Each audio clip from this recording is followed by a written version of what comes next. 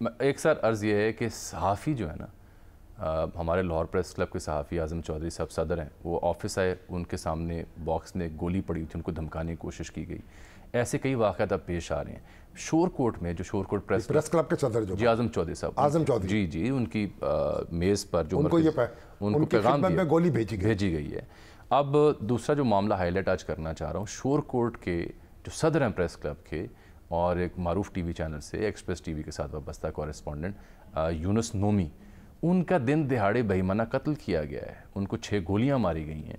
और मुलजिम अभी तक गिरफ़्तार नहीं हुए। मुलजिम एफ़ आई आर में चार नामजद हैं और ये चारों एक और मुकदमे में इन्हीं के साथ को ज़मीन का तनाज़ा है।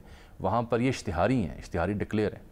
अभी तक पुलिस कातलों तक नहीं पहुँच सकी। चौरी प्रवेल साहब ने नोटिस भी लिया है। आई जी पंजाब ने भी नोटिस लिया है। दिन दिहाड़े एक सहाफ़ी को आपने चलते हुए कत्ल किया घात लगाकर। चौधरी परवेज साहब, इस पर तोज्जो करें, इसे टेस्ट केस बनाएँ और हर कीमत पर कातलों को गिरफ़्तार करें।